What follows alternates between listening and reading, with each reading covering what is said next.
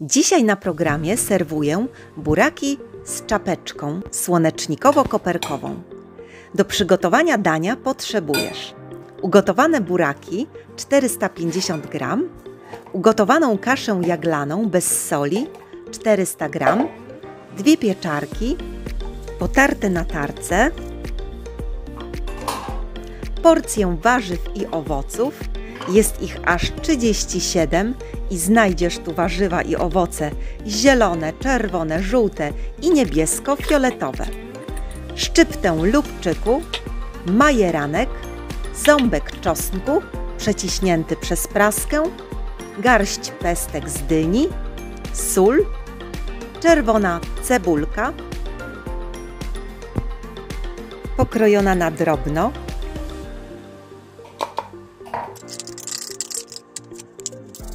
Wszystko mieszamy i formujemy klopsiki.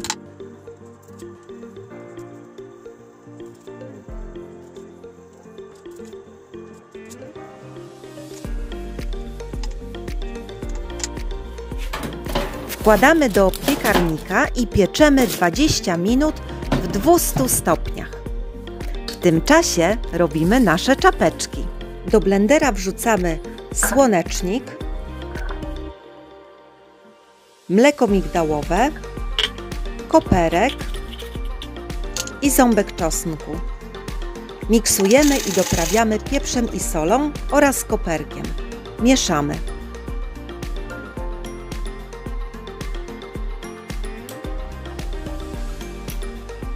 Na sam koniec wszystko posypujemy ciecierzycą i gotowe.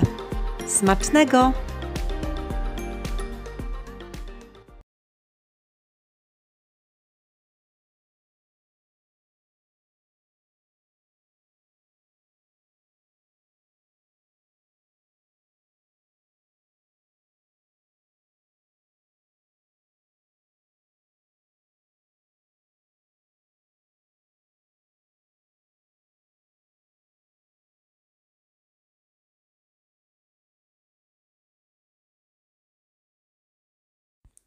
Do tego koperek,